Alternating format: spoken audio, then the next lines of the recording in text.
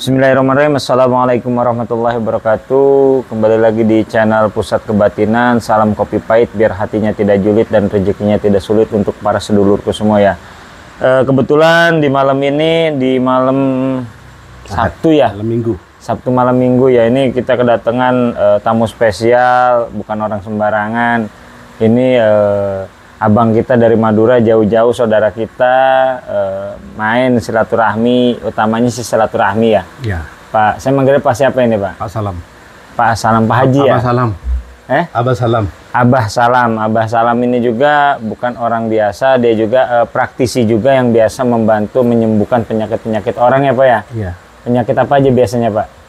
Medis non medis penyakit medis dan non medis para sedulurku. Jadi buat para sedulurku yang warga Madura khususnya kalau untuk eh, penyakit non medis bisa hubungi Abah Salam ya, Ya, Pak Salam. apa Abah Salam Abah Salam Pak Salam oke gitu ya jadi eh, nanti saya mau tanyakan dari sesi-sesi tadi eh, pena- penarikan energi sampai ruatan bagaimana sensasi dan fenomenanya gitu ya iya iya Nah, ini eh, digeserin aja. Nah, sip. Oke.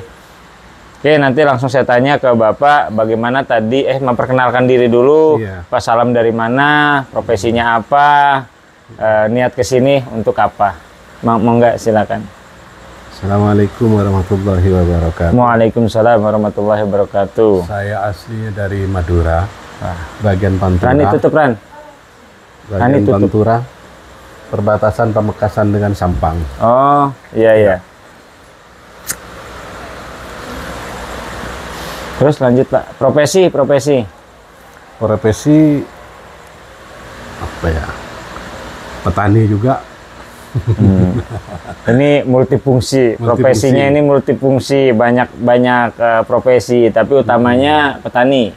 petani Apa eh, pengobatan. pengobatan Jadi eh, kalau dibilang sebenarnya pengobatan ini bukan pekerjaan ya, bener nggak Pak? benar ya Intinya kayak intinya lebih ke menolong orang lah ya, iya gitu loh. Intinya bukan pekerjaan lah, itu suatu anugerah ataupun kewajiban ya kan.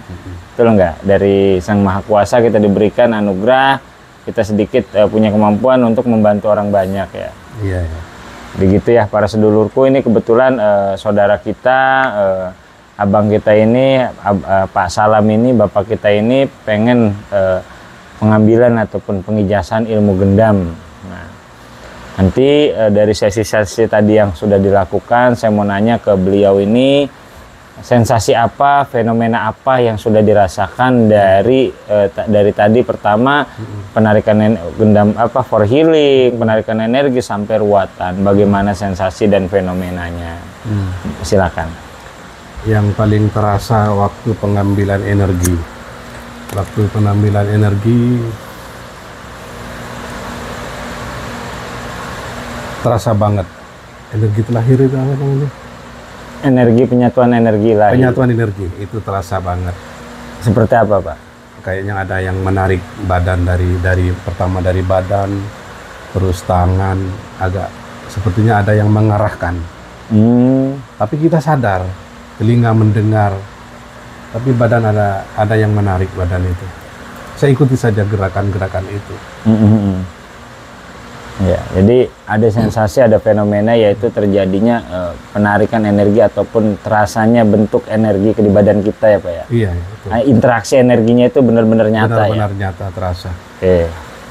Ini buat para sedulurku biasanya orang-orang yang cepat ataupun gampang merasakan energi ini sangat gampang ataupun sangat mudah untuk belajar. Sangat eh, mudah untuk meng- eh, mengaplikasikannya nantinya. Karena kita sebelum mengaplikasikan kepada orang, kita harus pun merasakan energi yang masuk kepada dalam diri kita. Betul nggak? Iya, betul. Seperti itu. Oke, eh, selain itu apa? Selain penarikan energi yang membuat berkesan di Bapak? Jujur tuh di para sedulurku nih. Apa? Waktu pecahin telur, Waktu pecahin telur katanya. Kenapa telurnya? Sulit sekali mecahin telur itu. Sulit sekali. Kiri kanan tangan diganti-ganti, Terus telurnya diputar. diputar pokoknya dicari selanya aja ya. Cari selanya. Nggak ketemu? Ya ketemu. Oke. Terus dalam pemecahan itu juga baca mantra ini saya lihat Baca ini. mantra, baca selawat, baca istighfar, semua saya baca. Terus? kanuragan ilmu kanuragan yang pernah saya ajari dibaca sama nggak mempan nggak mempan Iya. katanya. Saktian telurnya berarti mungkin mantranya. Benar. gitu guys. Jadi pas pecah-pecahnya apa tadi Pak? pas pecah penyahnya kita menyerah aja Nah, baca pasrah ya. istighfar pasrah Iya. Jadi mengakui kesalahan saya iya. baca istighfar dengan rendah hati Mm-mm. sebenarnya nggak nggak begitu dipaksa yang terlahir itu Iya, meletus sendiri iya. Ya kan saya bilang apa tadi? Iya. Kalau kita karena ada sesuatu yang mengganjal di dalam tubuh Bapak. Ketika itu kita menyadari nggak harus pakai tenaga kok. Betul nggak? Iya betul jadi gitu guys. Jadi ini eh, para sedulurku, alhamdulillah sesi-sesi dari eh, for healing, terus menarikan energi sampai ruatan buang sengkolo, buang bala dan mandi terakhir. Gimana tadi pas sensasinya habis mandi? Seger nggak? segar Fresh nggak? plong ya Plong. ya Ada yang ada yang beda nggak di badannya? beda ya beda Ada yang beda ya? raja fresh rasa fresh Oh terasa fresh Iya. guys gitu. Jadi beda mandinya ini bukan mandi biasa gitu, bukan mandi sehari-hari ini mah. Mandi ruatan itu emang nanti eh, terasanya seperti itu. Ada yang lebih kayak badan itu lebih ringan, lebih enteng lah. Pikiran juga kayak lebih los aja gitu ya.